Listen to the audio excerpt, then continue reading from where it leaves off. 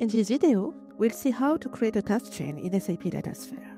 With a task chain, you no longer need to create several tasks in different editors, which can be time consuming.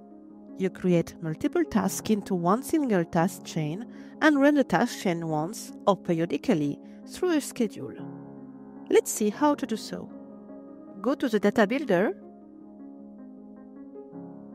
and click New Task Chain. In the Task Chain editor, drag and drop objects from the repository to the Canva.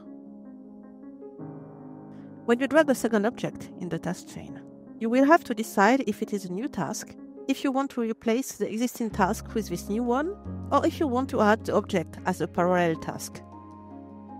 Choosing the Add as New Task option automatically connects the new object task to the previous one.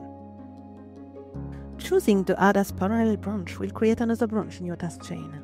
Both of these tasks will be run at the same time. On the right side panel, you can see the properties of a task chain if you click on the Canva. You can update these properties, for example, give a name to your task chain. If you select one particular object of the task chain, you can see its properties. Once you have configured your task chain, save it and deploy it.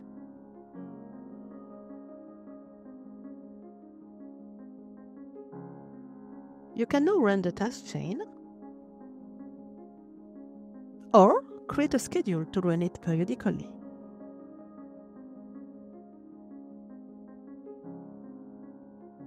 Once the task chain run has started, it will continue running as long as possible until all tasks has been completed. You can request SAP DataSphere to send you an email when the task is completed. And that's it for this video. Thank you for watching.